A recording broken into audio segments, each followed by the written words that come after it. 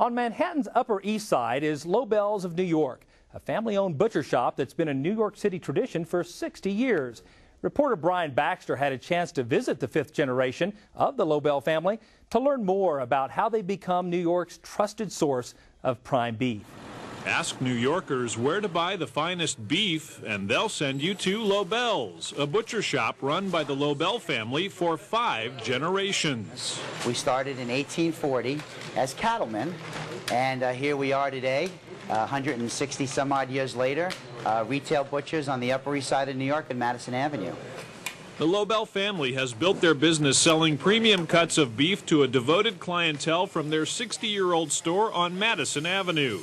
Today, they're still selling from their historic location as well as through a website that reaches customers nationwide. There are two components to our, our operation, and here we are in the retail store uh, where we have a lot of over the counter business. And New York City is, is very unique here on the Upper East Side.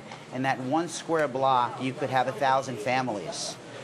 Uh, the second component of our business is our, is our mail order business, where we ship product throughout the United States.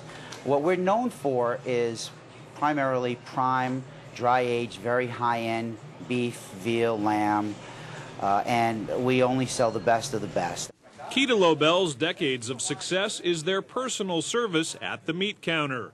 Nice to see you again. Bye bye. They provide their customers with expert advice on meat selection, preparation, and cooking to ensure the best beef experience possible a lot of them need guidance. They've had meals in restaurants and they've had certain cuts that they don't know how to prepare. So they ask us a lot of advice on how to prepare certain cuts of beef. So we love giving that input as well.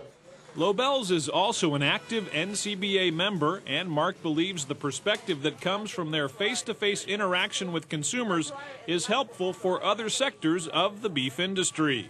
I think having the retailers involved really brings one part of the industry together with the other.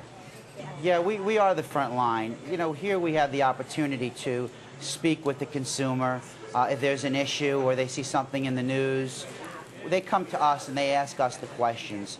Like any family business, the Lobel family takes great pride in their operation, and it's evident they want to make sure it thrives for the next generation. I have two sons, and uh, my brother has a son and a daughter. My cousin has uh, three daughters, and certainly uh, there's a sixth generation looming. So yeah, we, we, we definitely want to keep it in the business, in the family. Reporting from New York City, I'm Brian Baxter for NCBA's Cattlemen to Cattlemen. Home chefs don't have to travel to New York City for a taste of Lobel's prime dry-aged beef. They also ship their product nationwide. For recipes, tips, and ordering information, visit cattlemantocattleman.org.